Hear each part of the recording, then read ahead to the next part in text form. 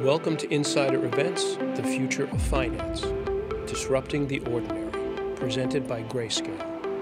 Here's our host, Insider Deputy Editor, Meredith Mazzelli. Technology is transforming our financial lives. Whether you work in the finance industry or you're a consumer of financial services, the future of finance, well, it's here. I'm Meredith Mazzelli, Deputy Editor for Finance and Legal here at Insider. We've gathered together experts at the intersection of finance and tech. Some of the biggest names in finance will discuss the next wave of innovation. Thanks so much for being with, uh, here with us, and thank you to Grayscale for presenting this event. We'd love for you to share your thoughts using the hashtag Future of Finance. We also want this to be an engaging conversation, so check out the dashboard at the bottom of the screen where you can submit questions for our panelists. First up, Insider Finance reporter Carter Johnson will hear from two experts on how legacy financial institutions are leaning in to digital transformation. They'll also reveal the fiercest challenges executives will have to solve. Over to you, Carter.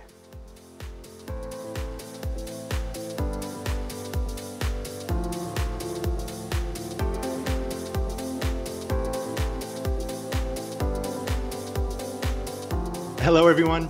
My name is Carter Johnson, and I cover banking and fintechs here at Insider. I'm joined today by two of the people leading transformational change in digital banking Michael Tang of Deloitte and David Tyrie of Bank of America. By now, a year into the pandemic, the numbers speak for themselves. 89% of banking customers now use some form of mobile banking tools. And it's not just Gen Z and millennials, that includes 79% of baby boomers like my parents, who are very active mobile banking users. Mobile banking features are now the second most important factor for customers choosing a bank. The only one more important are fees. This is from a recent insider study. Proximity to bank branches is now ranked fifth. And yet, one thing remains more important than ever before. The same study said that security was ranked as the most in demand mobile banking feature. We've all seen the news about data breaches across tech companies, and financial firms. In 2021 and into the future, mobile banking is not a nice to have, it's simply a must have. And competition for digital customers is as fierce as it's ever been before. Michael, you've mentioned during our pre interview the burning needs dominating the conversation around digital at banks. I'd like to ask you how have those needs been accelerated since the onset of the pandemic? Thanks, Carter. I was mentioning it's kind of unfortunate um, that it took a global pandemic to change some of the burning desires into a burning platform to really move towards digital channels. But if there's a silver lining at all, even in one of the most regulated industries such as financial services, organization has absolutely proved that they can actually move at great pace velocity and agility to meet these customers' demand. And as you know, everything from contact centers to mid office and back office has really, really sped up because of the pandemic. And I think one of the great things coming out of this is it not only served that as a catalyst, but this is much more than just the front end of designing in terms of digital transformation or digitization it replicates right through the mid office and credit risk modeling all the way to the back office and core banking. And I actually think this is a, a great news story where it's going to continue to accelerate the transformation into the digital space. And I think you raise a great point there. And that's something I wanted to ask you, David, is you're, of course, head of digital banking across Bank of America, not just on the consumer side. And so I'd be curious to hear about some of the ways in which you're maybe applying some of the things you're learning in consumer digital to other areas of the bank, maybe on the corporate side or on the investment banking side. Sure, be happy to. First, uh, thanks for having me here today, and uh, thanks for letting me share the floor with Michael. I'm a huge reader of Michael's work, and uh, you know it's just nice to be able to have uh, an opportunity to have interactions uh, with the two of you guys. So, you know, one thing before I go in and answer that particular question, you know, Michael really brought up an important point, which is the pandemic and the acceleration that's been going on. You know, we saw an acceleration in really three different areas. One was adoption of digital, two was people seeking advice in the digital channel. And really, three was the amount of new relationships that we garnered through our digital channels. Obviously, the pandemic, for you know all the reasons we always talk about, you know, drove those things. But if you think about it, you know, we bring on about a million new net digitally active users every year in this year we brought in a million in the first quarter. So you see this pent up amount that's that's going through and you get adoption. And like you said carter at the very onset it's of all age cohorts. The actually the fastest growing cohort for our digital adoption is the 65 plus category. So that was one that took us a lot of time to kind of get going on that front. You know when you think about the advice you know uh, people are actually coming in because of the uncertainty that's out there and looking for reassurance looking for advice and guidance. And uh, that's been a big focus area uh, for our customer base. And then the last one is really this notion of new relationships. Pre-pandemic we were at about 25 to almost 30% of all of our new customer acquisition was coming through digital. We're now at 50%. Um, so it's really kind of accelerated across the board. And to tie it back to your original question, when you think about digital across the entire Bank of America enterprise, the least common denominator is actually an end customer, one single end customer, whether you know it's somebody in the consumer bank or actually it's a CFO and we're providing tools and capability for on a commercial banking side of things. They have the same needs. It's the same common ground. They're looking for ease, convenience, safety. They're looking for things to be relevant and timely, and they're looking for uh, a partner. It just happens to be through the digital means. So we're taking the same building blocks that we built that got us to about 52 million digital users in the consumer bank, and now starting to, as I call it, the uh, consumerization of the commercial banking sector. Got it. And you know, I think that's a great point about really thinking about the end customer. And to that end, I feel like we're hearing a lot about personalization within digital and within digital banking. David, I'm curious if you'd have any thoughts about one, what personalization actually means for the user experience, and two, the sort of tech that underpins again personalization. And Michael, feel free to follow on after that. Yeah, I'd love to uh, hear Michael's comments on that as well. But we don't really call it personalization here. We call it individualization. And the difference between personalization and individualization is that you can personalize a digital experience for somebody, but if you individualize it, it's actually happening in real time. And so that's what we're building is we're building a platform that is based on individualization. So when Michael logs into the Bank of America app, um, it is actually assembling itself real time to provide him the most relevant and timely information to be able to give him choices of next best step and to really pull together the content that's most important. You know, we believe that the days of having a a mobile or an, an, an online experience that is click here, then click here, then click here. Uh, those are going away really, really fast. It is come in and it assembles its own. We've done a couple things at Bank of America. These are more long term bets that we started a while ago. One is we have one platform for all mobile customers that we're migrating towards. So that means that if you're a Bank of America customer or a Merrill Lynch customer or a small business customer, you actually go into one app and it assembles itself obvious benefits to that because you're building once and you're being able to then deploy it amongst multiple lines of business rather than building a Merrill Lynch mobile application and a private bank application, a small business application across the board. So, this notion, as you called it, personalization allows us to gain massive efficiencies, but also allows us to really drive a whole new level of customer experience and you know, uh, really expectations. It really becomes a trusted place for our customers. Oh, I love that. Like hyper personalization is so 2020. The 2021 term is individualization now. I, I really like yep. that. And I think the cornerstone of this is obviously data, not just customer data, not just proprietary data within your organization, but how do you combine and syndicate it with other sources of data internally or externally to provide that individual experience. And Carter, you mentioned the mobile app, right? That's only one channel. If you do this across the enterprise, as you know, there's multiple channels, whether they're digital, branch is still alive and well. And I think in the future, the notion of embedded banking will be very, very big.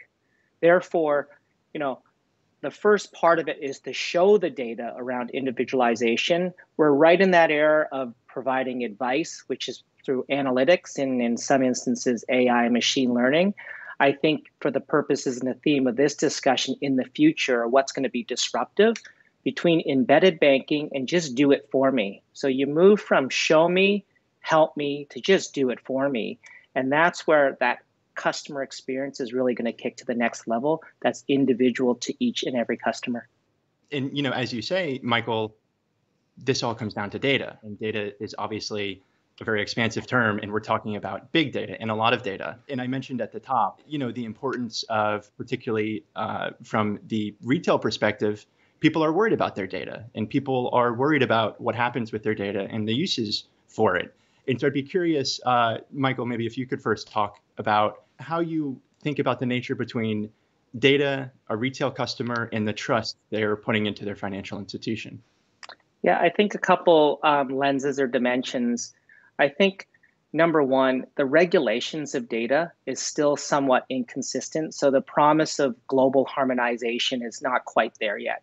And I, I, know the, the audience might predominantly be in North America right now, but if you look at the EU and all those legislations and regulations apply globally, something such as GDPR, General Data Protection Regulation, it's really trying to protect the privacy of customer data.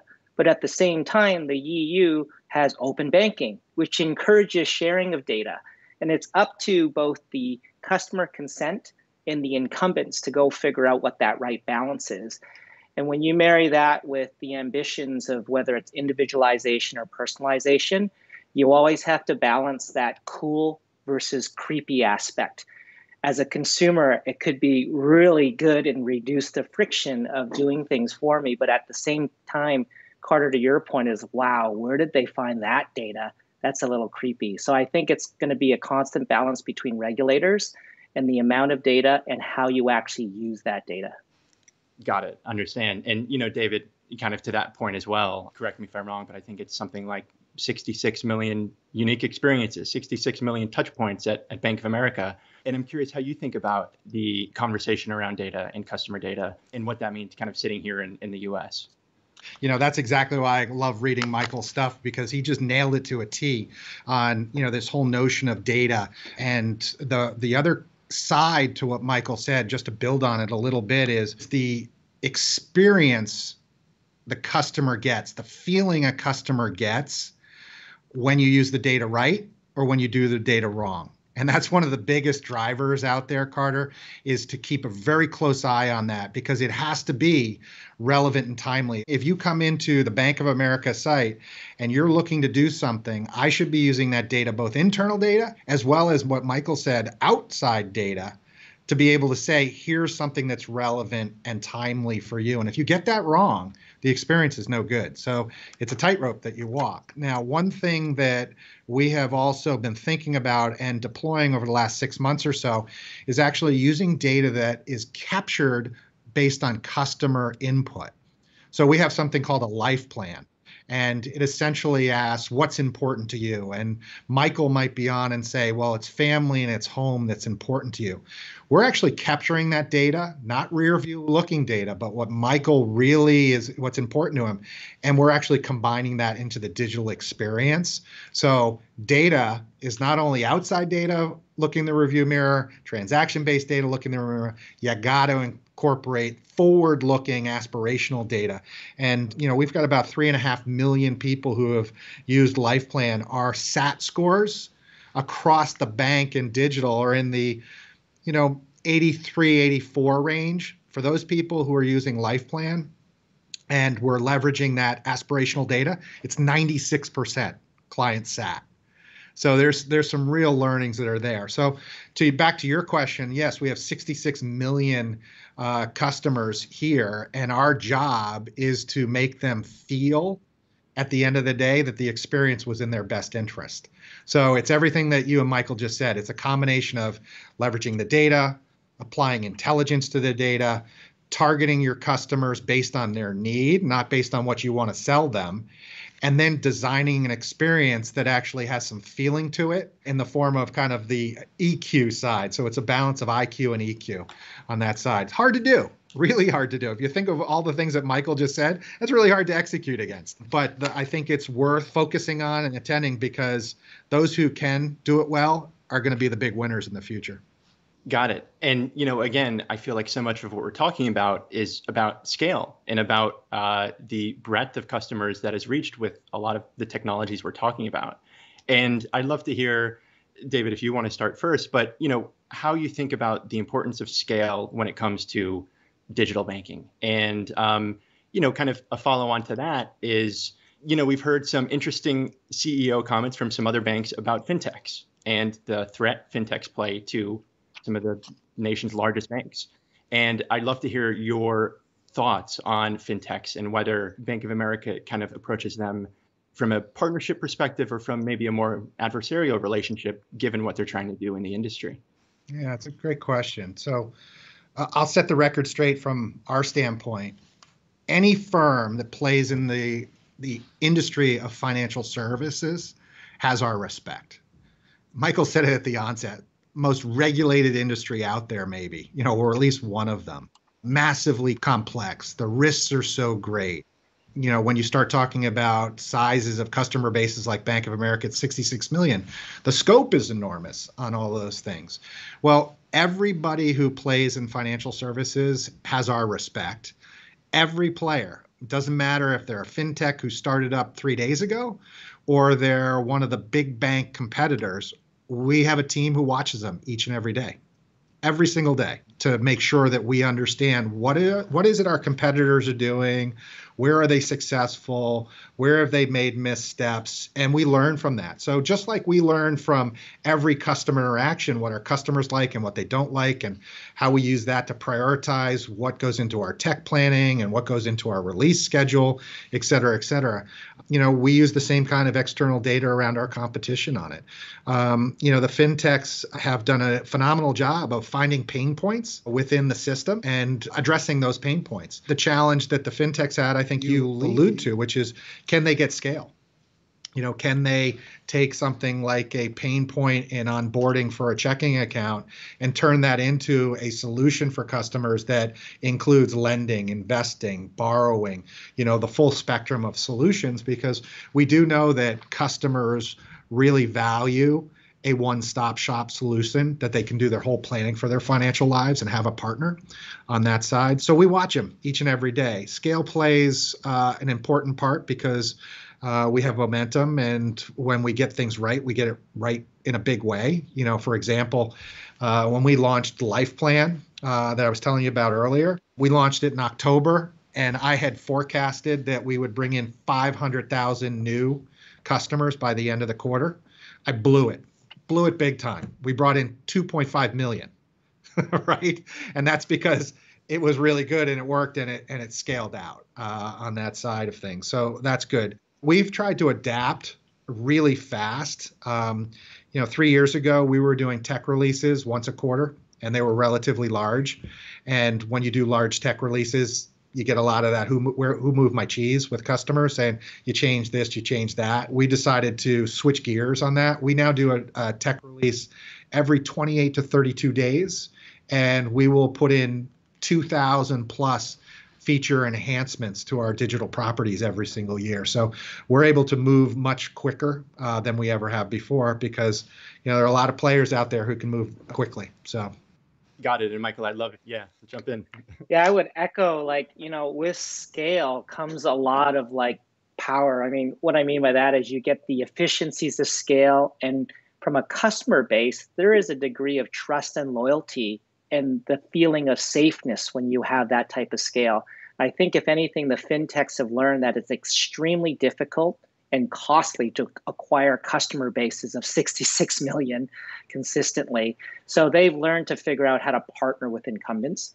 I also believe what we can learn from fintechs is the notion of assembling products and services of the future, not just building them. It doesn't necessarily need to be in house, it could be external with ecosystems. But with today's technology and usage of APIs, I believe to get that velocity coupled with scale, you're assembling things in a much more modular fashion. And if something changes, whether it's customer demand, regulations, a new competition comes into play, new technology, they're like Lego blocks where you can resize and re reshift things. And although fintechs obviously have innovated and disrupted financial services, I'd probably be also be fearful at looking outside of the industry. I believe industry lines are blurring. So as a customer, although we have this traditional taxonomy of financial services, technology, or telcos, autonomous driving manufacturers have more driver data than insurance companies. And insurance companies use traditional actuaries with risk modeling pools. Companies have autonomous cars have petabytes of data in individualized manner to underwrite insurance policies, way more accurate than risk pooling. I recently spoke with the telco in Southeast Asia, where out of a thousand attributes of phone usage, they just don't have because they're unbanked the financial health to risk score them. They have figured out through AI and machine learning how an individual charges their phone, when, and at what battery level is the best indicator of loan loss and credit risk. So, you know, between technologies and especially outside of financial services, if we're the theme is about the future, I wouldn't just look at fintechs. I'd look outside of our industry of how we're going to be disrupted. Michael brings up a really good point on the scale and looking outside and and I think it you know if you're a good business person in general you're going to look at not only your direct competitors but potential future competitors. And as michael indicates outside this to kind of get some lessons learned. And you know data is an important one uh, for that. So you know michael also brought up the scale and when you get it right i'll give you a couple examples here.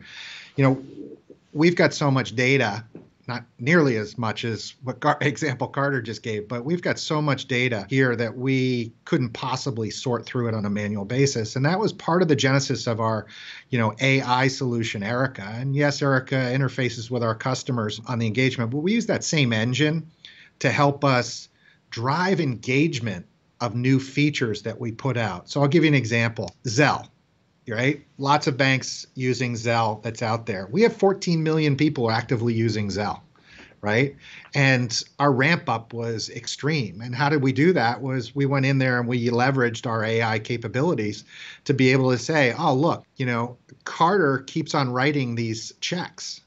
Next time he comes into the property, introduce Zelle to him, right? Simple things like that right? And quick stat for you of the 14 million customers uh, who use Zelle, 75% no longer write any checks with Bank of America, right?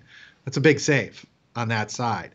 And, you know, again, building off what Michael said, we look at the data and we come up with stats like Michael did that help us drive the engagement as well. So, for example, we have a stat that for a new customer coming on board at Bank of America, if you can get them to engage in two digital features, just make it up Zelle and mobile check deposit. Any two, 97% chance that after a year, they're going to remain digitally active. So get them to try it early and you go from there. So you take a stat like that and you put it in the hands of our 25,000 customer facing associates that are in our financial centers or the associates that are on our phones and you would you like fries with that order approach, which is you get them to try a couple things, and next thing you know, your digital engagement activity is through the roof. Yeah, I have a friend at Google that uses this term quite often. Data and facts will trump people's opinions and points of views. sure, and I'm just going to jump in here because we've covered a lot of ground in just over 20 minutes, and I think we, you know, are just about to wrap up. But I think one final word just to think about, uh, David, if you want to go first, and then Michael. When we think about the future of, of digital banking and continuing the momentum that we've seen during the pandemic, I'd love if you could just describe in a sentence or two how we continue that momentum, how you keep it going, even as the world somewhat returns back to back to normal, so to speak. So I guess it's three different words that I'd use, Carter, to summarize that, you know, or you know three different points. The first point is you got to be true to what customers need, want, and desire. Basic building block of banking. Make it easy, convenient, and safe for me. So that's priority number one on that side. The second piece of this kind of alludes back to what Michael was saying, which is you can make it easy, you can make it safe, you can make it convenient, but you also have to make it omni-channel. This is not about a mobile app. This is not about a you know online service it all has to work together. And that's one of the biggest focus points for us is making sure that it all works together because you can do an awful lot in the digital space pretty much anything other than taking cash right? I can't take cash out of my mobile piece of things. But inevitably if you have a lifelong relationship with a customer, there's going to come a point in time where they need real advice and they're going to want to sit down face to face. So I don't fundamentally believe there's ever a 100% digital only solution. There's always going to be this high tech, high touch. So that that's kind of the build I would build off of what Michael said. And then the last part is the stakes of the game have been risen because it's all about, as I said, individualization, which is can I make this personal to you? That that's the winning formula. Final word, Michael. Yeah, I wish I had a crystal ball because then I could predict uh, what Dogecoin is going to be trading at next week. But I think fundamentally you know, through this wave, the pandemic, in terms of taxonomy, I believe there's a difference between digitization and digital transformation. What we see a lot of is leveraging the technologies, the business process to make things easier, reduce friction, increase efficiency. But by and large, many organizations are still running the similar operating models, business models, and making money the same way. The revenue pools and profit pools are generally calculated the same way. Transformation is breaking that all apart and with disruption, really figuring out what are those new operating models, what are those new innovative products and services to offer, and potentially augmenting and finding new revenue streams. And I think with all the building blocks with technology, what we're learning through at the velocity that we can change, um, transformation is really what the future is going to be about in the industry. All right thank you all so much for attending, and a big thank you to Michael Tang and David Tyrie for this really thoughtful conversation. Thanks so much. Appreciate it. Thank you. Thanks, Carter. Thanks, Carter. And thanks so much to Michael and David for sharing these insights on digital transformation. Up next, cryptocurrencies are perhaps one of the biggest financial innovations in recent memory. They've been absolutely dominating headlines in the past few weeks. Bianca Chan, reporter here at Insider, is here with execs from some of the biggest names in crypto right now. Over to you, Bianca.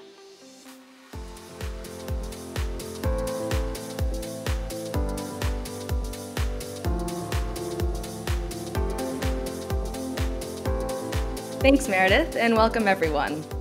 Cryptocurrency has once again become a trending topic to discuss the incredible run digital currency has had recently and what to expect moving forward, I'm joined by Michael Sonnenshein, CEO of Grayscale Investments, and Lauren Abendschein, Head of U.S. Institutional Coverage at Coinbase. Before we get into it, I wanted to give each of you uh, a chance to introduce yourselves and your respective companies. Lauren, would you like to kick us off? Absolutely, and thanks for having me today. Coinbase is the first choice for sophisticated institutions and investors who want to start investing in digital assets. Coinbase has the most complete and robust suite of services for institutional investors, offering the trust, security, and performance needed by investors to trade and store digital assets with confidence. And with our recent Prime offering announcement, we're doubling down on our commitment to serving the growing institutional market. So that's our focus here at Coinbase Institutional. Great to be here. I'm Michael Sonnenshein. I'm CEO of Grayscale Investments. Uh, we are the world's largest digital currency asset management business. Dating back to 2013, we've now developed a family of 14 different investment products that are really focused on providing access to both retail and institutional investors uh, to gain exposure to digital currencies.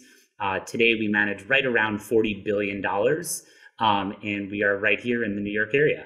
Crypto enjoyed a hectic run in 2017, but what occurred in late 2020 and early 2021 massively dwarfed that. Michael, tell me what happened these past 12 months. I think what we're seeing now is a market that is much healthier and much more two sided than we've ever seen before. And the dynamics at play in the crypto market today are very different than they were in the 2017 run up. We've really seen the development of derivatives, lending and borrowing, uh, the development of order management systems, indices, further regulatory clarity around the asset class. And what's really propelled, I think, a lot of the investment has been a real change around the narrative and general acceptance that crypto is not going to go away. And when you combine the resiliency that this asset class has demonstrated over even just the last 12 to 18 months, for investors, they're eager to deploy capital because crypto can provide them with a differentiated return stream. They're now seeing that there is no more stigma or any career risk associated with getting involved in crypto. They're seeing notable experienced investors getting involved in the ecosystem. And as you shared, they're also seeing really strong participation from both startup and legacy financial institutions that are both offering crypto products and services, or in some instances, even adding crypto to their balance sheets. And so I think for us and from our view of the world, it's just an entirely different landscape and a maturation that we're really excited and encouraged by. Yeah, thank you. And to that point, Lauren, what lessons learned have you deployed in the past year to not overextend yourself, you know, in case there was a market pullback? Yeah, absolutely. I mean, like all asset classes, crypto markets will rise and fall over time. And you know, we take a long-term view and have been doing that for the entirety of our eight plus year history here at Coinbase. And you have to remember that it's early days for crypto and for building what we call the crypto economy. We now have a proliferation of use cases for crypto involving stablecoins, reward tokens, governance tokens, and smart contracts. So ultimately, we see sophisticated investors for whom we facilitate trading, custody, and lending activity, recognizing that engagement in this space is more than just about short term price action. And we find that really encouraging. So there's been a lot of talk of what it will take for more Wall Street adoption of cryptocurrency for years. From where you stand now, where are the biggest hangups? Well, I think some of the comments I shared about some of the tools that have been developed are really powerful um, and have really accelerated adoption from Wall Street and the investment community as a whole.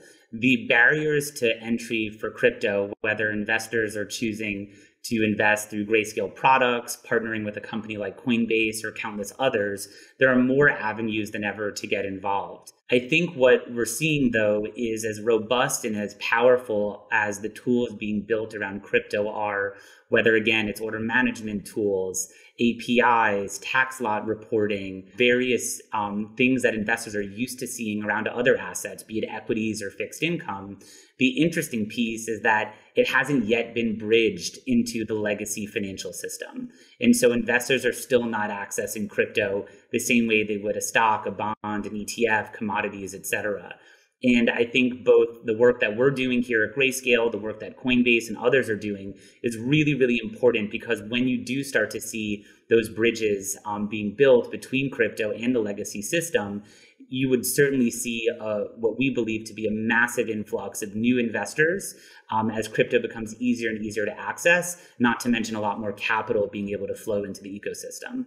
And what about you, Lauren? What are you seeing as the, the biggest roadblocks there? Yeah, I strongly agree with Michael's comments here. You know, and, and historically, we've seen three key barriers that have been hangups things like regulatory uncertainty, custody, trading, lending infrastructure, the sort of bridges that Michael was referring to, and also investor perception. And I think we can really point to meaningful changes in each of these areas. We see increased regulatory engagement, the launch of landmark products like Coinbase Prime and others in the ecosystem, and then leading active managers getting involved who are trusted by their LPs. I think underlying all of this is simply creating that trust as well through the proliferation of strong institutional products. And I think this is where having incumbents like Coinbase and Grayscale, who have you know, performed over you know, extended periods, really helped to bring adoption from Wall Street. And Lauren, I would just add to that, you know, on your first point about regulatory clarity, if we were having this conversation with Bianca maybe even two or two and a half years ago,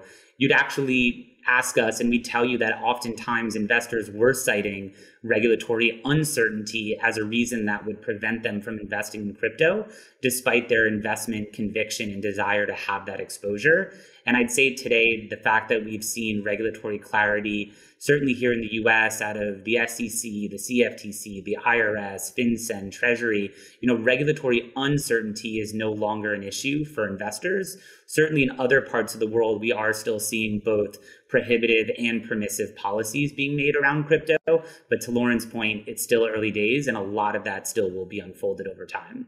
So, Bitcoin ETFs have been mulled for a while by the SEC, and but approval has yet to come. Michael, you've submitted your own proposal for one. What seems to be the biggest hangup as far as you know a Bitcoin ETF?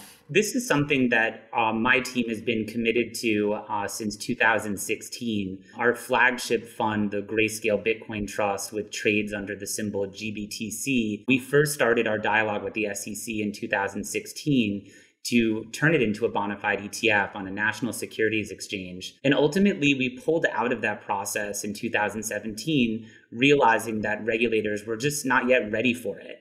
And some of the issues that regulators have cited around the crypto ecosystem are things like surveillance sharing. You know, these are the types of protections and monitoring that are in place for equities and other assets. And we just don't yet have that level of infrastructure around crypto markets um, and crypto order books and exchanges. I think they're also looking for a more robust and significant regulated market. And so I definitely think the, the proliferation of the derivative space, the fact that we have futures now around Bitcoin and others um, is really, really powerful.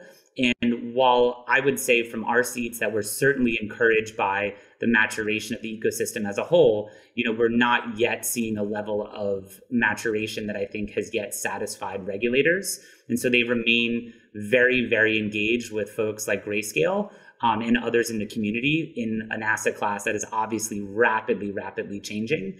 And so I'd, I'd leave you with the Bitcoin ETF is not only something that we at Grayscale are committed to, but I think is something that is really going to be a matter of when and not so much a matter of if. Yeah, I mean, let's back this up a bit. How crucial even is a Bitcoin ETF to Wall Street adoption? Could the latter occur without the former? I mean, I think an important takeaway, just looking at the success and growth of businesses like Grayscale and Coinbase, should really signal to folks that investors are not waiting to access crypto or add crypto to their portfolios uh, for an ETF to come onto the scene. Our asset growth has been explosive, um, as has it been at Coinbase and other other you know access points for investors. And so I do think, though, based on some of the types of surveys our team conducts and looking at the financial advisor community and the investment community as a whole, there is certainly a subset of investors that do want to access crypto through an ETF. But the important takeaway is that investors aren't necessarily, as a majority, waiting for an ETF before they first add crypto to their investment allocations. I think that's a I think that's a great call out. I mean, you know, Coinbase today has 122 billion dollars in assets on platform in crypto, you know, just from institutions alone. And I think that's a really strong indicator of the fact that the, the Bitcoin ETF is not the single holdup um, for institutions to get involved or for individuals for that matter. I would reflect your comments that we really are seeing widespread adoption of cryptocurrencies, and it's happened faster than I think you know many would have expected. When you see leading lights like Paul Tudor Jones, Ray Dalio, Bill Miller, you know, coming into the space, I think these are really you know, important indicators of the seriousness with which leading investors um, you know, are taking this this space uh, and their their willingness to get involved. And so, transparency into spot exchanges is a topic often brought up when discussing the Bitcoin ETF, and you know whether that's fixable. Lauren, how does Coinbase approach this? Absolutely. Well, Coinbase's exchange uh, is a market subject to various money transmitter requirements, robust AML and KYC regulations, along with our BitLicense. And we really thought a lot about you know, market surveillance as a rigorous program on par with regulated exchanges globally. And we even go above and beyond uh, what regulators require in several circumstances, which is very much around our philosophy of focus on robust uh, and rigorous you know, uh, processes. And specifically in regards to you know, our employees and asset issuer activity as an example of ways in which we go above and beyond. Uh, our strong trade surveillance program enabled us to detect manipulative, fraudulent trading on the platform and to effectively eliminate bad actors, creating a safe environment for our customers to trade in. So, this is a really key set of tenets with which we run our own exchange, and we think it's an important way in which we're a participant in this ecosystem. And then there's the issue of sustainability with Bitcoin. Lauren, I know Coinbase has done some research in this space. What are the major takeaways from your recent report? So, we covered five myths about Bitcoin's energy consumption. Obviously, this is a complex topic, and uh, investors will want to do a lot of their own work uh, to understand this topic. You know, one myth we highlighted is that the idea is that miners don't use green energy. And actually, Bitcoin is greener than many people realize to stay competitive, Bitcoin miners have to seek out abundant and inexpensive forms of energy, meaning that there's no energy source more abundant and affordable than green energy. So we think that's an important thing to consider. Also, the problem of energy consumption is cited as the primary issue here. The real problem is CO2 and not energy consumption. Bitcoin could actually help drive demand for more renewable energy. So we'd encourage people to take a look at some of the myths that we've highlighted here and the ways in which uh, additional considerations might be brought to this issue.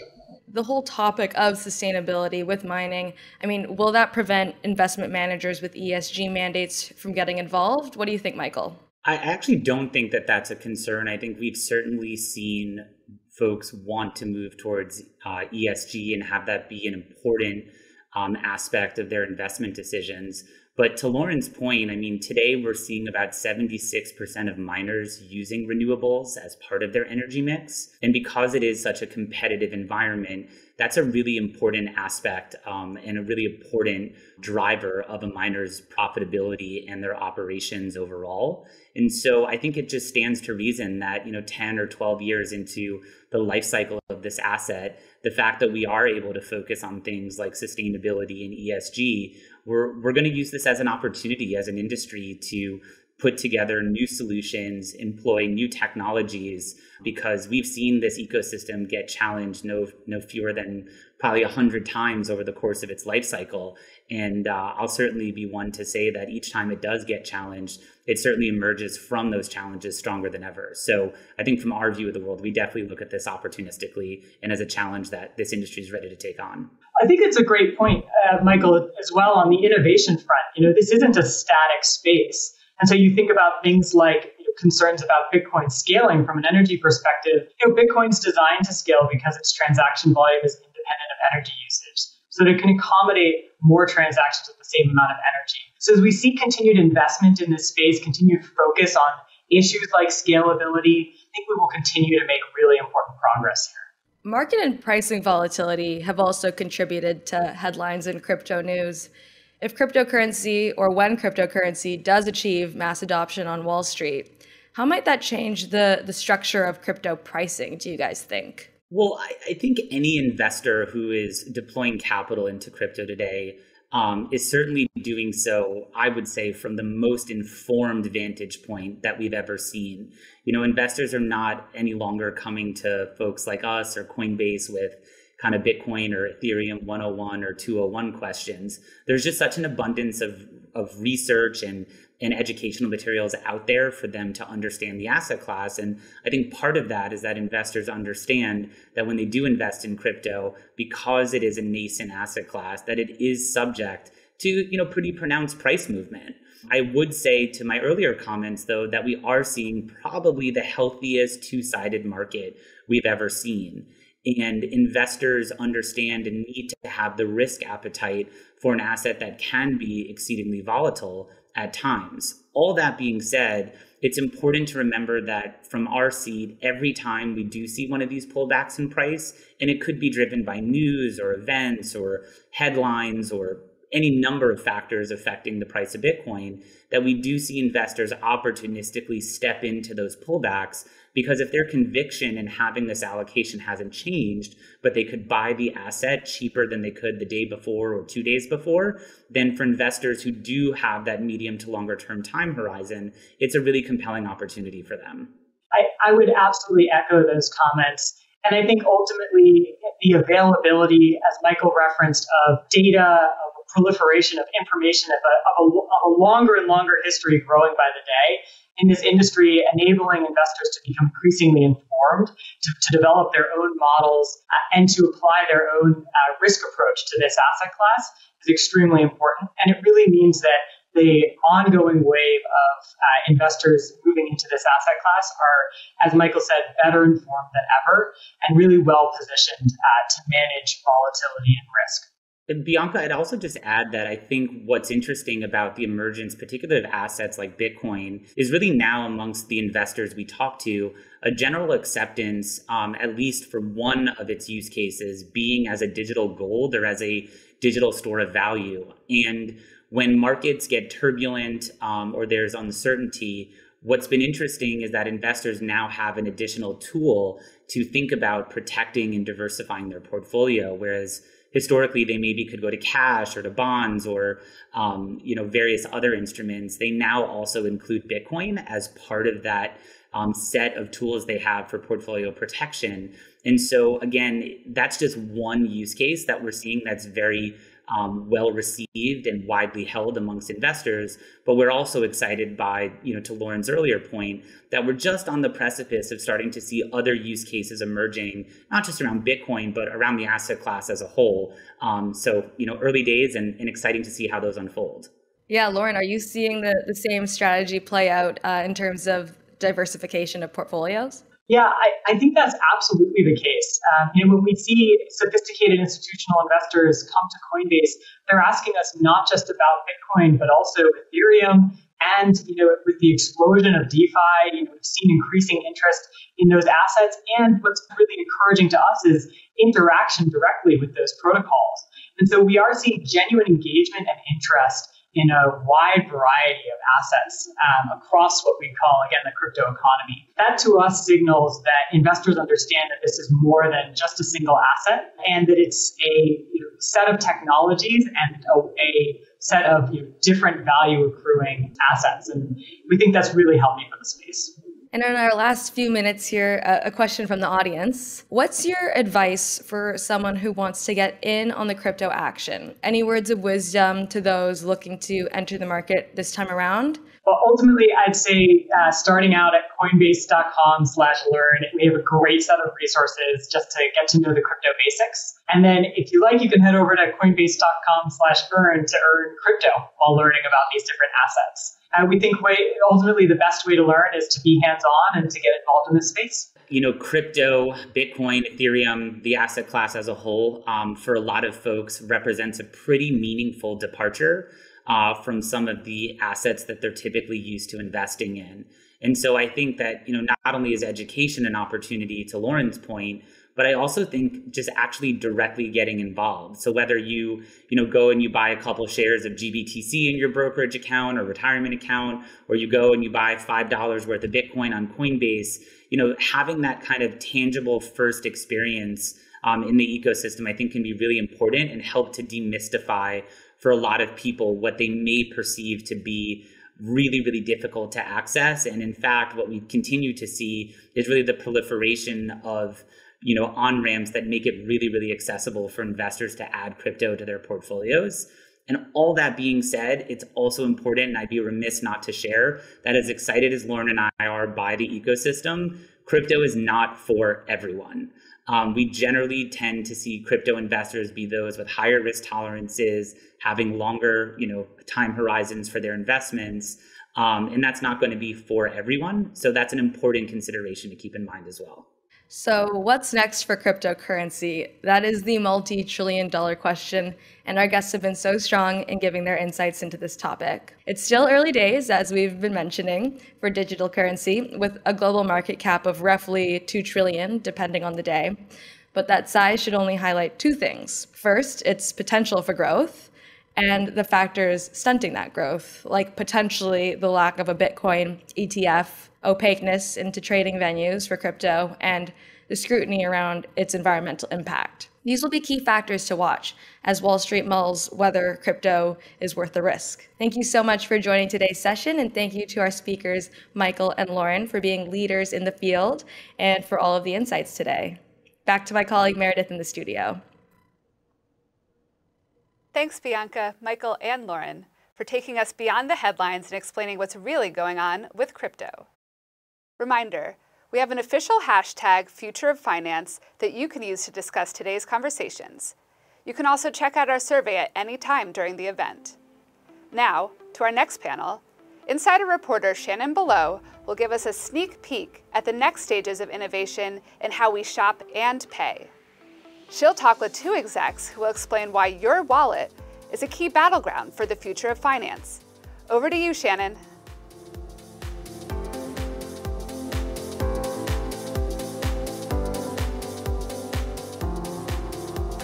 Thanks, Meredith. Hi, everyone, and welcome. My name is Shannon Ballow, and I'm a reporter here at Insider. We're here today to talk about payments, a rapidly changing and increasingly important part of the financial world. From contactless payments to mobile wallets to QR codes, the way consumers pay and get paid has become increasingly digital as our lives have shifted online. Businesses, too, are embracing digital ways to move money as the lines between in store and online have blurred. To discuss what's changed and what comes next in the world of digital payments, I'm thrilled to welcome our two panelists. First, we have Lia Cao, Head of Wholesale Payment Solutions at JP Morgan Chase. We also have Matt Sueoka, VP and Head of Global Strategy, Partnerships and Enablement at Amex Digital Labs. So I'd like to start on the consumer side of things. Matt, can you talk to us about how consumers' expectations for digital payments have changed and where you're seeing merchants adjust to meet those expectations? Probably pretty obvious for most people that um, the pandemic has only fueled the use of digital payments across a lot of different customer segments. Before we were seeing certain behaviors using mobile wallets and phones to pay for things or peer to peer payments that were somewhat more isolated to certain user groups. Now they've become just more and more predominant as people don't like to touch terminals and they don't want to touch cash. So I really feel like the pandemic has fueled a lot of some of those underlying behaviors that we had seen in the past you know, in particular, even the other day, my 91 year old grandmother sent me a peer to peer payment instead of giving me cash which was, you know, in my mind, just a representation of how far things are moving. You mentioned your grandma, and I've, I've heard that quite a bit, right? People of all age groups embracing digital payments. And, you know, how sticky do you think these new habits are going to be? Yeah, absolutely. You know, to be honest, a lot of the form factors we're seeing have been around for many years. NFC contactless payments continue to be really important.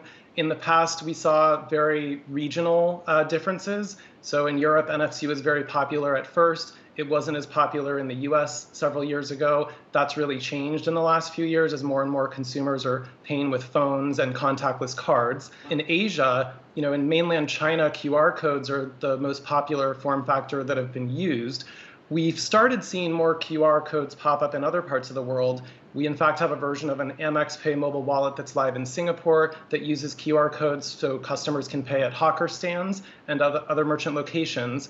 And in the US, I don't know about you, but I've seen, you know, living in San Francisco, restaurants using QR codes to show you a food menu. Sometimes payments are included with that. So a lot of those older technologies are actually kind of seeing new life and new innovation. One observation that I've had though is you know, these form factors don't always scale on their own. And often just adding a new form factor, even if it's digital, if it doesn't solve a broader need for the ecosystem or for the various constituents, it can be really difficult to scale. So, you know, like I mentioned, QR codes have been in the US for a while. We've not seen them hit, you know, the same level of scale and adoption. It really just is another example that we will probably continue to see some of those geographic variances and that you really need to make sure the new form factor innovation really does something meaningful for the broader ecosystem in order to, for it to be adopted. So, in thinking about the US, obviously we recognize QR codes are kind of starting to happen, but there's like a lot of interest in mobile wallets, contactless cards, et cetera. Um, which do you think will sort of stay on longer or have more adoption going into later this year? I think in the US in particular, we've seen a lot of fra- fragmentation and usage of form factors, and I expect that to continue. So in some instances, you might want to use a physical card. In other, you know, digital experiences, you might have a credit card saved on file, and you don't actually really need a form factor. You just go about the user experience, and when you're ready to transact, the payment's sitting there ready to go. So I expect that the fragmentation will likely continue. I do think that many of the behaviors that were adopted during the pandemic are likely to you know continue on with a lot of those customer segments part of it is the behaviors can just tend to stick over time once you've done them a few times and in other instances a consumer might have realized, wow, it actually is convenient or it is beneficial for me to send this peer to peer payment instead of carrying cash in my wallet. I think on the whole, we're likely to see continued adoption as the norm. Lia, I'd like to shift gears and talk a little more about the business side of things. We've seen a ton of accelerated change on, on the consumer payments experience, but where are we with businesses and what are the major themes you're looking at from your perspective leading corporate payments? On the wholesale side, I see the similar trends that Matt talked about, right? The consumerization of wholesale industries and the convergence of those industries, right? I think, you know, take direct to consumer, for example, right? Especially uh, via e commerce. That was a major pivot that many companies made last year out of a necessity. And then you look at now, many companies are looking to make those pivots uh, permanent, right, in 2021 and beyond. And they're really looking at that model to drive their, their business growth, to acquire new customers, to offer new experiences. And also direct to consumer can take on many different forms, right? It could be subscription model, right? That recur, reoccurring uh, revenue model. It could be a marketplace model, right? Where an ecosystem uh, will bring together the consumers and, and sellers uh, together. So I think uh, all these, we've seen corporate clients adopting and growing these uh, new business models um, quite rapidly. Take subscription model, for example, right? You know, that's not a, a new model. We know that Netflix has really uh, grown on the back of that. But I think what's what's really surprising is the, the, the pace of adoption Right? You think about Disney Plus, uh, it got to 100 million subscribers in, in 16 months, right? And, and it took Netflix 10 years to get there. So I think that's just really obvious that there's an acceleration of digital payments, of new forms of direct to consumer type of payments. And the implications on the corporate side is just, I think, is very substantial, right? A lot of the B2B companies they never had to really think about how to accept consumer payments, right? What kind of forms of payments that Matt talked about, all the wallets and whatnot. They didn't used to have to think about that. Now they do. And now payments become such an important client experience lever uh, that can really power their growth. So I think it's quite an exciting time to see the transformation across the multiple industries. Um, there's also examples where technology that may have you know been adopted at scale on the consumer side that on the corporate side we're seeing new use cases and new innovations coming out of that we have a great product for example called american express go it's essentially a version of tokenization where you tokenize a card credential, but we've used it in this commercial instance where you can issue this sort of short-term virtual account. You can give it to a user such as someone who's recruiting for a job at your company, and it just it makes it easier because the user can add it to their favorite mobile wallet as they're paying during their recruiting trip, and then expense and reconciliation is easier for the corporate card customer on the on that back end side of things. So there's a lot of great examples like that where these new use cases that you know didn't exist before are coming to fruition. Absolutely. I'm curious how from an organizational perspective, the thought processes and prioritization of payments has changed? That's a great question because that's the biggest change I see right across a wide range of corporates. There's always the, those perennial needs of really p- making payments more efficient, reducing the cost of payments, optimizing right how we how corporate treasury manage cash, right working capital, how do we minimize the trapped cash. I think those continue to exist. Uh, but as more and more corporates look for payments to really drive growth, we see um, payments playing a very versatile role, right, in terms of as a revenue driver, right? The new business models look for payments to drive their, their growth. We talked about subscription models. Uh, you think about connected cars, right? All the payments are embedded in that in that connected device. And I see other companies also using payments in the financing solution as a as a you know tool to advance their diversity, equity, and inclusion agenda. Right? They can you know tier the different financing rates and payment speed to their suppliers who are minority owned or women owned. So I think you know it's just payments become a very very powerful tool uh, in terms of customer experience, in terms of advancing the corporate growth agenda, and also their um, their other mission, right? Either diversity, inclusion, or their ESG type of goals. That's a really interesting point. Matt, I'm curious, you know, I guess same question to you. Amex obviously is a payments company, but also you work with other people. What have you seen in terms of companies' perspectives around payments, even, you know, in the tech world? I think payments become an enabler for a broader set of experiences. So um, I think what's changing now, in embedded payments was referenced earlier, is just this notion that you can create this proliferation of experiences and payments really doesn't have to be such a, an isolated moment it can really be built into whatever channel or form factor or experience the customer is in and i think companies and merchants are thinking in a much more expansive way about that and they're providing greater flexibility whether it's ordering things ahead and then going to pick it up or you know engaging with a digital assistant or a connected smart device. I recently moved into a new home during the pandemic. I was kind of surprised to see how many of the appliances and things were all smart appliances connected to the to the internet and the cloud. It really just brings up this proliferation of opportunity to be honest where you can try to find ways to add convenience for customers based on these digital channels and products where they're already spending their time today.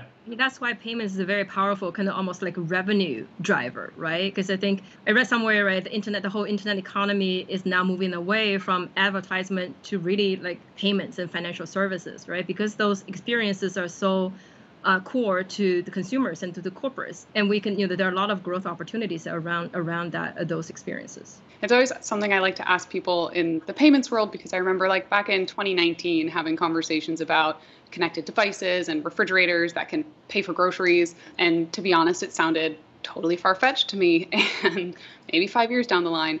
But, you know, from both of your perspectives, like how close are we to adoption of those kinds of like absolutely behind the scenes money movement? I think it's happening already. I feel like there's a saying that future is already here. It's just in different places, right? And people feel it in different levels. You take the car, for example. I bet that, you know, in the telematics, you already see a lot of the embedded payment functions, right? Either you pay for the entertainment or the smart maps or whatnot. Like all those um, services and payments are already invisible and embedded. Like Uber, right? I you know I used Uber yesterday. Um, you, you don't think about payments at all. You just like book a car and, and you step out of the car and you're done. But the payments happen in the background. So I think more and more that's what where the future is, is really moving towards that seamless, invisible, kind of contextual payments, right? And embedded in the social media context. And you know, for example, I think I don't know if you watch the Amazon show. It's called Making the Cut, like the reality fashion design show. Right, every episode there's a at the end there's a winning outfit, and then there's a little button there that say shop the look, and you can buy that outfit right there, right in that context, in that reality show, and then, then you it leads you to an Amazon store dedicated to the show. I mean that that is really how embedded the payments are uh, already today, and so you know quite quite exciting time. I totally agree. I think we're already there. These trends and use cases are already happening. They're maybe not adopted by all segments in all places. So again, they're sort of like an early adopter group, and some of these use cases might take a little bit of time to scale. I guess um, maybe to be a little bit controversial, I'll, I'll slightly disagree with Lia in the fact that I think that um, invisible payments can be magical and can be great for certain use cases. So I, I agree that that can be a great experience, and we're probably going to see more and more of those examples. There are, however, other times where you don't want the payment to be invisible. Sometimes you want to check, you know, certain details before you say yes, take my money, and the transaction is complete. So I do think it is use case dependent and kind of channel and circumstance dependent, but it's all about creating a great experience. And depending on what great is defined as, that's how we'll have to kind of version how invisible or front and center the interactions could be. And maybe just to connect back to my earlier commentary on form factor and QR codes, again, the innovation needs to solve a need and actually be a better experience or be a better use case or opportunity. If it's just a form factor switch or if it's great for a consumer but not great for a merchant, it's going to be difficult to scale. So I do think there will sort of sort of start to be a balance. So when I think about the connected appliances in my house or a connected car, sometimes a card on file saved might be good enough to enable certain types of use cases. Other times I really might want that newer form factor that's more unique.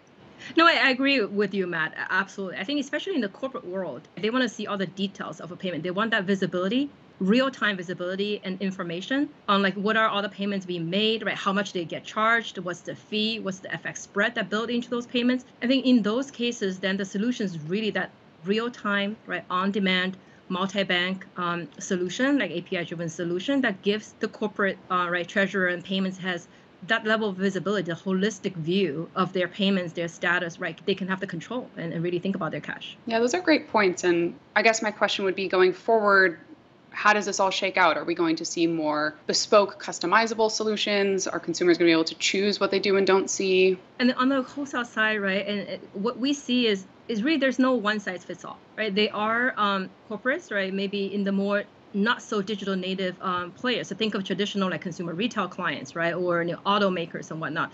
As they venture into the more direct consumer type of model, they would want more support, right? Meaning like they would want a bank or a payments fintech partner, right? Really help them think about the end-to-end flows and how some of them may even want to outsource right the entire process to a provider and to the other extreme of the digital natives right think of the marketplaces and, and really the native digital players they want to provide more modular services i don't i don't imagine like the largest e-commerce platform would outsource right their payment processing you know the you know value added services but they will look at really what are the modules they want right? They may want an api driven solution to plug into their ecosystem. They may want to leverage the banks for their core competencies right? So i think there's a wide range um, and as a bank you know jp morgan we just want to be able to offer those modular value added services really depending on the client needs. I agree. I think it's hard to kind of generalize. I think you have to be prepared to support a, a wide range of use cases. You need to give tools and products and services that merchants and tech companies and other partners can embed, you know, where they see fit in the right ways. And we spend a lot of time working together to make sure the security is there and the, you know, great customer experience is there from an end-to-end standpoint. So, you know, in some instances, giving customers more choice and more customization, you know, less simple and sometimes simplicity is better. So I do really think it depends on the circumstance and the use case. So we have to build products and services that can support that broad range in the ecosystem.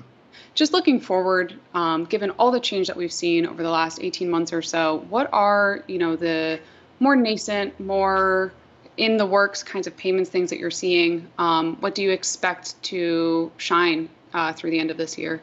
I would say for us at JP Morgan, there are two things uh, we're working on at JP Morgan, right? In terms of more thinking about the future. One is we briefly touch upon the Internet of Things, right? The embedded payments, and then we re- really think about how we, you know, can offer those. We call it microservices, right? Of payment services to our clients in a very tailored way.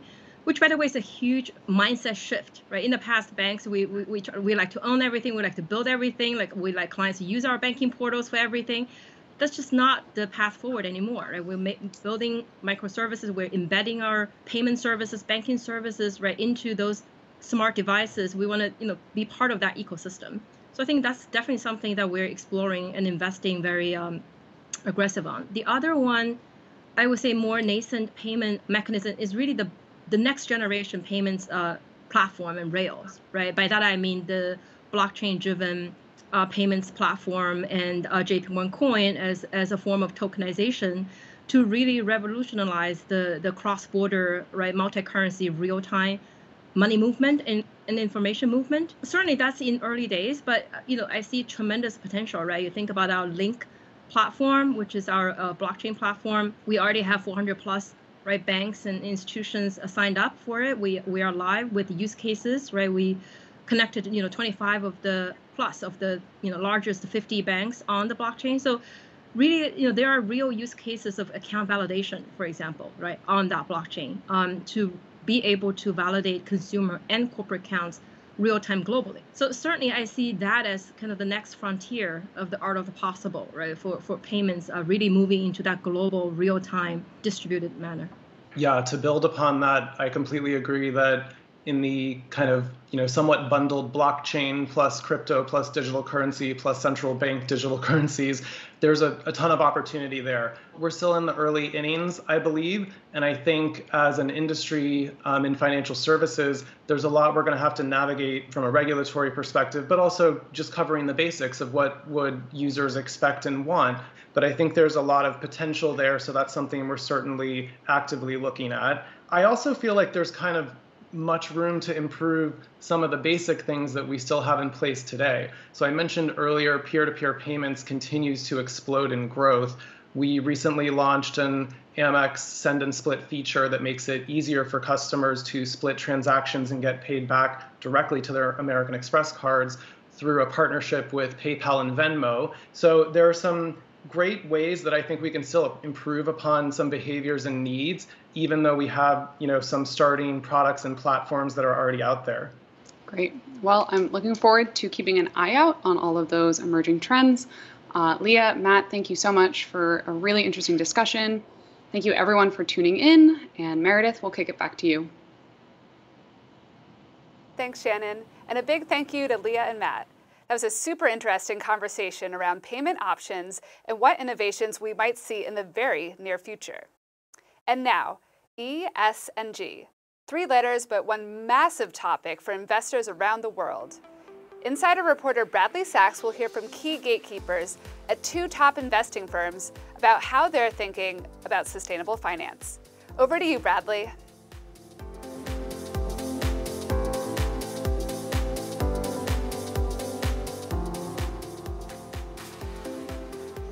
Welcome, everyone.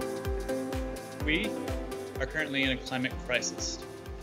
From raging fires to rising seas, all the top scientists agree our current situation is untenable. The response from the financial services industry has been a rapidly growing subsection of the space, known as ESG investing. And to talk with us about this space today is two leading investors, Karen Karniol-Tambour and John Hoeppner. Karen is the co-CIO of Sustainable Investments for Bridgewater Associates, the largest hedge fund in the world. And John is the head of U.S. Stewardship and Sustainable Investments for Legal and General Investment Management, a manager that manages over $1 trillion in assets. Karen, my first question will go to you. When you think about sustainable investments, what data are you using specifically to find these new and interesting investment ideas? It's a great question because I think that while investors are accustomed almost to the idea that when they regularly invest, there is a huge mess of data. And part of the job of an investor is to find out what's pertinent, sort through all that data, uh, and make sense of it.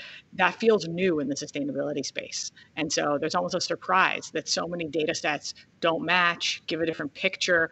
But in our view, it's not any different than a question like, what is today's growth rate in China?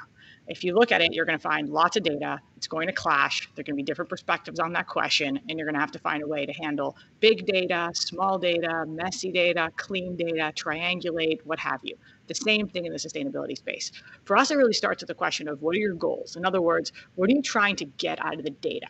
Don't think about what data is presented to you, but what concept are you actually trying to capture? Once you know clearly what the concept is you're trying to capture, what's really fantastic is that the ecosystem of providing data in the sustainability space is getting better and better each day. And so investors calling up data providers saying, this is the concept I'm trying to capture and here is why, is rapidly improving the options available to meet the needs of what investors want. And the other thing is, today there's so many areas of investing where issues to do with social and environmental are just core to what's pertinent to the investment that even investors that don't think of themselves as I'm working on ESG are finding themselves asking these questions and saying, well, if the thing that policymakers care about is transitioning to a green economy, I've got to understand that. If the thing that policymakers care about is tackling inequality, I guess I've got to understand that. And so more and more, you're just getting a response to that uh, in terms of providing and creating the data available to answer that question. Just like when I gave the example on Chinese growth, I mean, for decades, people have created an ecosystem of how to measure growth around the world in the best possible way. Gotcha. Thank you for that, Karen. John, a similar question to you. How does Legal & General think about data in the sustainability space? Sure. I think first off, it's important to recognize there's a lot of confusion between data and ratings. And the ESG industry, myself included, hasn't made it any easier. So the, the acronym, Environmental Social Governance, is both a data idea. So what are your carbon emissions? What is the exact governance profile? but it's also analysis, right? So data is supposed to be a fact. It's supposed to say, hey, a director on a board has been in place for 10 years or five years. But then analysis is trying to put a judgment on that. Is that director still independent?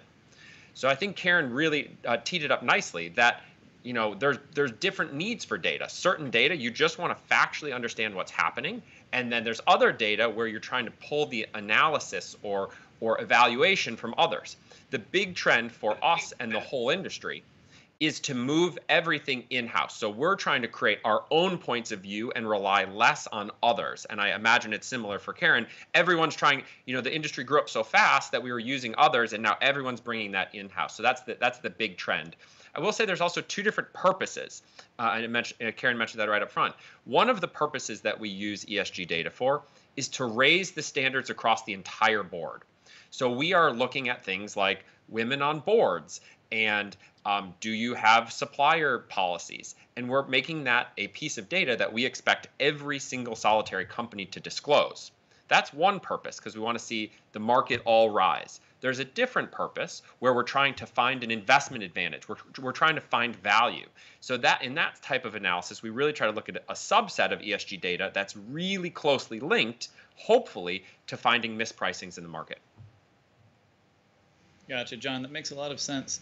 I wonder also broadly, when you think about what data sets to use, you often have to have conversations with clients about what goals they're trying to achieve from their portfolios. Karen, I'd love to get a sense of what the interaction is with clients when you're dealing with sustainable investments, because often people have different ideas of what they want out of E, S, and G. Absolutely. And I do think that any investment mandate should start with being as clear as possible about your goals. And so just saying I want to make as much return as possible with as little risk as possible is sort of the standard financial goal I think that clients have. And in that context, uh, more and more, there's just a lot of issues where environmental, social, and governance issues is actually just a pertinent part of making money in that market.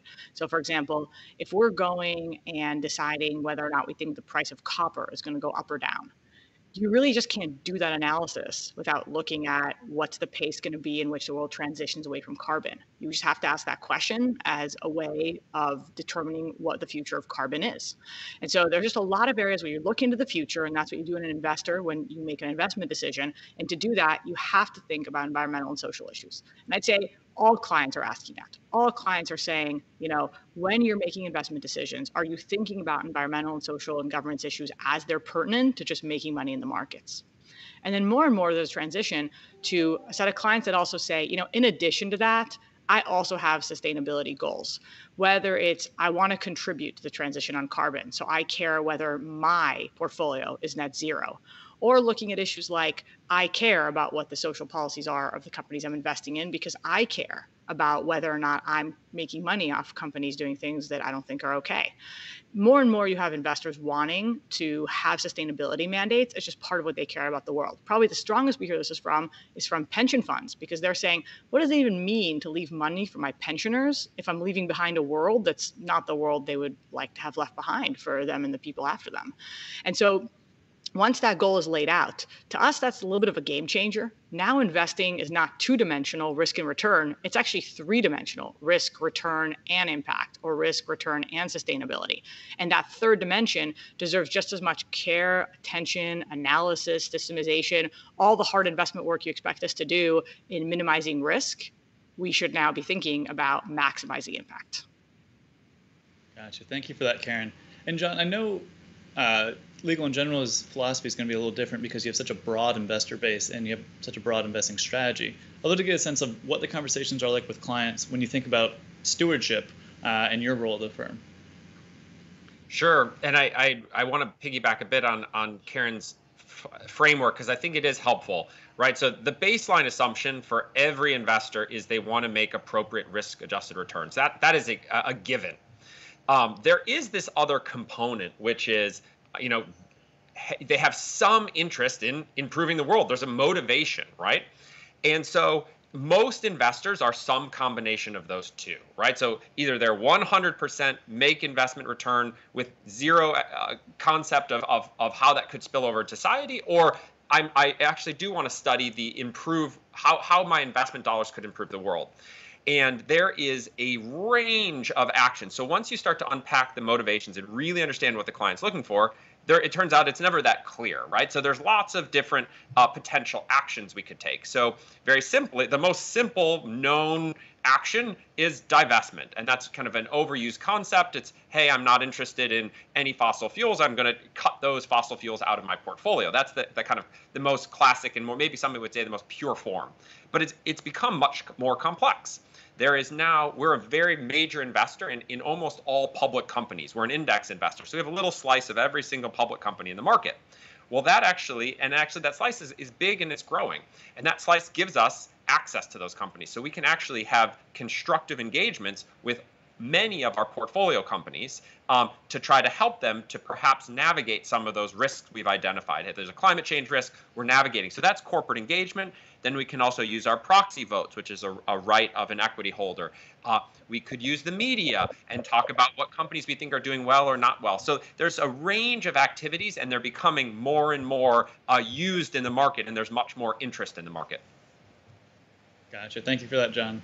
And I'm sure conversations with clients also have to include what's going on in the regulatory world. Um, sustainable investments is not necessarily a you know lifelong ambition or lifelong focus for the SEC. I know there's an ongoing SEC request for comment around this field. I'd love to get a sense, and John, I'll start with you on this one. Um, I'd love to get a sense of what conversations with clients and what conversations with regulators are like in the space. Um, I guess particularly if there's policies you'd like to see passed or um, policies out there that you think will be replicated going forward. Sure. So right now in the U.S., if you are participating in a 401k or a pension as part of your corporation, or, or let's say you're a, you're a school teacher, it is legally unclear whether they can have a sustainability fund in your lineup. There's a lot of debate on there, and that is a big problem. Uh, and we do believe that the DOL and the SEC, which are the groups that oversee uh, how this is regulated, uh, will will sort this out.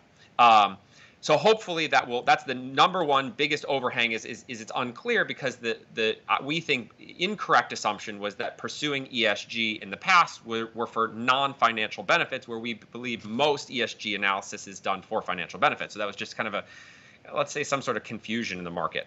So that's one set of policies uh, that we we hope will change. There's good signals from the SEC that that's going to change.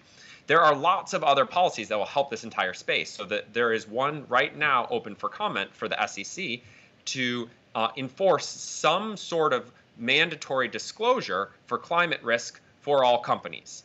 Um, we will publicly comment. We hope the market leans into this. We think this is really, really important. You know, one of the, the anchors of the free market is that uh, we all rely on available information. There's a there, information is out there for everyone. There's no asymmetry of information. For all of us on the inside, we know that that's not true, right? There are we can engage with companies. Uh, there's there's lots of different information. You can buy very expensive data that tells you which companies are performing better or worse on climate risk. We want to see that that data in the market, standardized and used more. So really excited to see where that goes. Gotcha. And no, and Karen, I know Bridgewater obviously operates internationally. Uh, I know there's a, a, pretty major policy in Australia that I believe could be a template going forward for, for other countries to, to potentially follow, um, especially around the social aspect of it all. Yeah, it's really interesting how on the environmental side, I think there's sort of been a winner, which is measuring carbon looks like is going to be the winner. It's not the only way to look at environmental sustainability, but with so many governments signing up to have specific pledges around when they're going to go net zero and how, it's getting easier and easier to say, okay, everyone's going to have to measure their carbon. That's going to be the standard, and it will align to national policy and so on on the social side, there hasn't been as clear of a winner of sort of what is good social policy. And we really feel like Australia has been a leader in having uh, modern slavery as a new form of legislation, where they're basically taking an issue where I think almost any investor, if you say, you know, would you like to be profiting off of people's slavery? They would tell you pretty quickly, no, I do not want to be profiting off of people's slavery. That's a pretty easy one. Even if they're just thinking I'm a pure risk and return investor, it's pretty easy to say that's not something I want. But if you actually say, do you have any idea do you know if your investments are indirectly financing modern slavery? The answer usually is no, because, you know, as John was saying, we're all relying on a data ecosystem, and that's a very hard question to answer at this point. And so what Australia has done is basically put this into law, saying that you have to start answering that question. And we see that spurring all kinds of innovation in looking for data, trying to get the answers, trying to have alignment across different players to say, how do we know the answer to this question and how do we dig deeper? And we wouldn't be surprised if that gets copied and followed and becomes a standard that many people have because of the ease of sort of saying slavery um, is not the sort of thing I want to be profiting off of. But it remains to be seen. I think that space is kind of wide open for different regulators to say, here's what we think are the social things that we'd like to see measured in the same way carbon is measured to be as a basic guide stick and a standard for everybody to know what's going into their investments. And I guess almost combining the two answers here, and John, this is a question for you. what type of policies would you like to see, in, or I guess what type of data would you like to see come from companies that would be standardized? Would it be carbon emissions that every public company would be required to to report, or you know, I, I know there's already some diversity stats, but if there's wider ranging, you know, firm-wide diversity stats that could be reported, uh, I'm wondering if there's any any thought from from you on on what you'd like to see specifically from from a standardization standpoint. Yeah, it's, it, it's a very hard question to answer in a in a short period of time. Um, you know, there are emerging standards. I would point to a, a quite well-established group which I'm part of called uh, Sustainability Accounting Standards Board, which has worked really hard at creating a backbone of uh, ESG topics that are are very reasonably material to companies. So that's an industry-specific approach. There are other groups that I'm also part of that I think take a top down view. So there's another group called the Human Capital Management Coalition that is advocating for specific metrics um, that help understand your employees. And these are quite reasonable metrics, such as how many part time, full time gig workers do you have? Um, or what is the total cost of your workforce? What is the turnover of your workforce? So, right now, as investors, we actually don't know turnover of the investments we're in on a standardized way. That's just an example of, of some of the metrics. There's a lot, though, uh, in terms of what, what the SEC could do, there's a lot uh, wide open to, to, to really move this forward.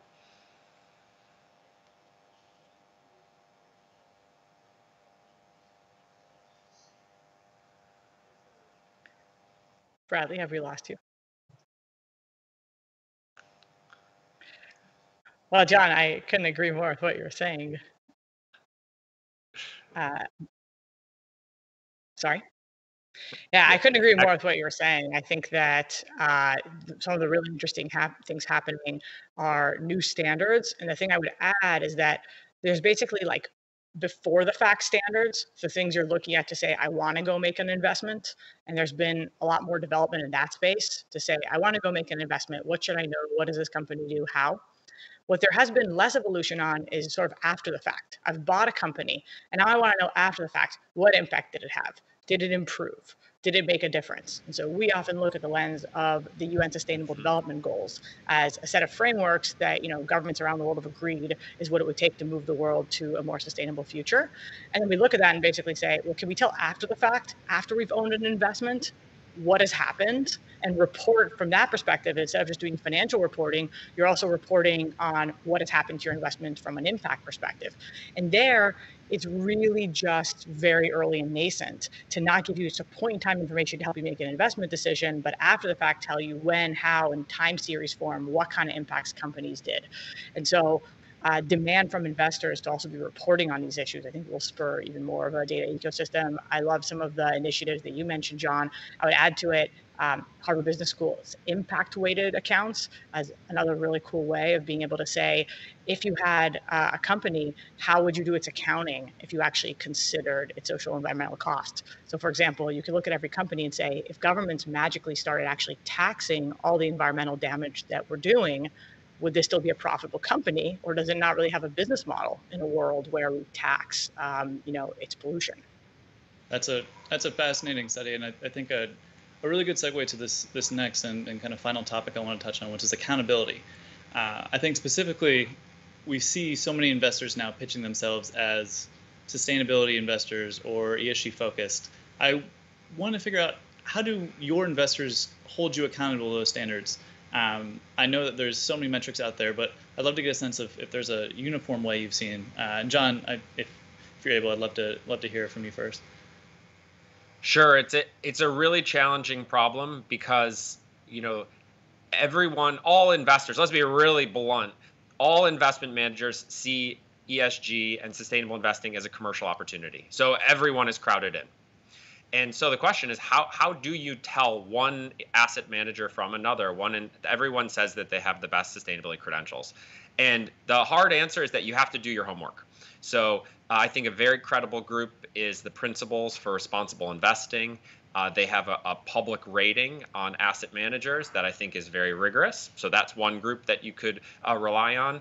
Uh, there are also these factual ways you can do it. So if every company, every asset manager says they're they're really um, engaging with companies and voting proxies in very thoughtful ways, pick five companies uh, and see how all the different asset managers line up and do they hold the company uh, do they engage with them um, and, and, what do they see um, but i do think this this transparency is, is really hard and i think uh, our companies are and asset managers transparent on what they're doing right so we spend a tremendous amount of resources trying to explain why we do what we do and for companies um, hey, what's important to us, so that we we try to use our um, kind of radical transparency to, to to show companies you should never be surprised with your how we're assessing you on sustainability because we're putting it in the public domain.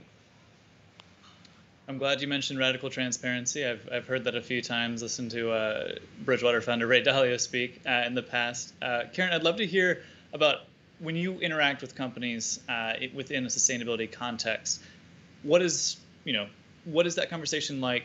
Is it holding them account via an activism sense? Is it being transparent about what you and your investors hope to accomplish and what they hope to accomplish?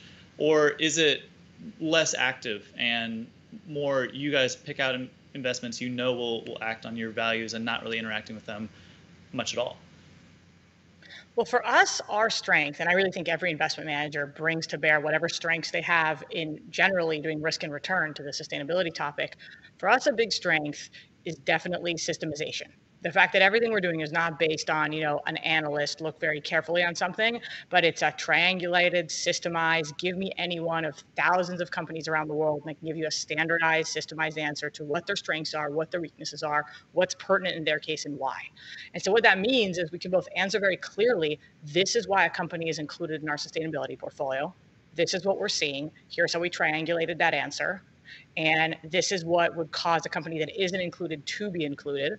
And we can use that as sort of a map to say if we're engaging with a company, we can open up that map and say, here are the strengths, here are the weaknesses, here are the issues that need to be addressed. And so we feel like that's just a way of utilizing what is for us 40 years of taking any investment thoughts and finding a way to really truly systemize them and reflect our thinking such that it's scalable and can go to any security in the market and just transferring that sort of strength into the sustainability space. Gotcha. Karen and John, thank you so much today for your insights. Uh, if this panel has taught me anything, it's that we have some of the brightest minds working on this problem right now. So thank you so much for the time, and I'm going to send it back to Meredith in our Insider studio. Thank you so much, Bradley. What a great and you know really important conversation from Bradley, Karen, and John. And thank you again to all of our speakers to their, for their unique perspectives on financial innovation and the biggest sources of disruption you can expect in the years to come. The implication for the future is clear. Winners and losers will be defined by their ability to transact seamlessly, move money around the world instantly, and invest capital in a sustainable way. A big thank you to you, our audience, for tuning in. Remember to share your thoughts using the hashtag FutureOfFinance. In a few moments, you'll see our survey pop up on your screen, and we'd love to hear your feedback. Again, thank you all so much for joining, and goodbye.